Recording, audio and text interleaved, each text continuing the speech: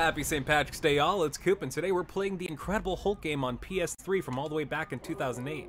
Uh, thought it was a good game to play today since it's St. Patrick's Day, and he's the big green guy, so what a better fit. Um, honestly, I already played the prologue and thought it was already really fun. And uh, these movie games, I know, get a bad reputation for being like glitched, buggy messes made and crunched, cranked out in like what six, eight months due to studio demand. But honestly, for what it is, I think it's pretty fun. And now it looks like we're in the open world, so uh, it looks pretty detailed thus far. Wait, hold.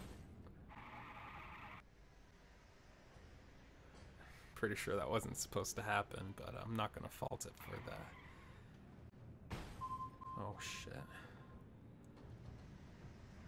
Well, I'm not gonna fault it for two cars. That's ridiculous. But anyway, I think it. Oh shit! I haven't even done anything.